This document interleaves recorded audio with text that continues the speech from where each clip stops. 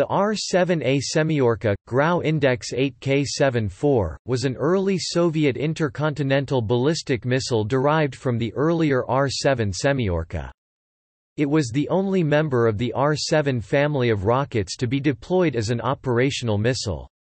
The R-7A first flew on 23 December 1959, entered service on 31 December of the same year, and was formally accepted on 20 January 1960. It was declared fully operational on 12 September 1960 and was retired from service in 1968.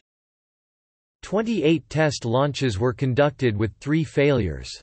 Most test launches occurred from sites 1/5 and 31 6 at the Baikonur Cosmodrome.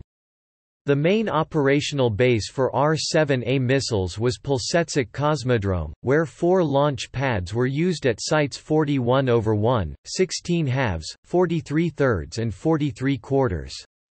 Baikonur Site 31 6 was also used for operational missiles. Another base near Krasnoyarsk was proposed, but later cancelled.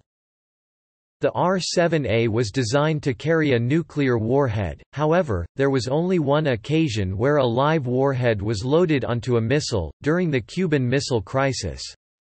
After the missile had been armed, it was rolled out to Site 41 over 1 at Plesetsk, and would have had a response time of 8 to 12 hours, should an order to launch it have been given. In the event of nuclear war, other missiles would have been armed as required, in accordance with the Soviet policy of storing missiles and warheads separately.